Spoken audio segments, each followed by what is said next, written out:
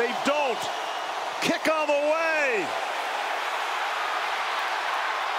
Hits the crossbar and comes short.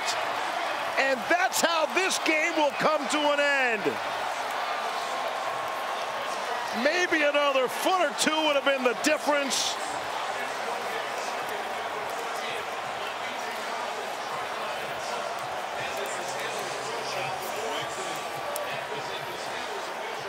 Bears and Justin Fields.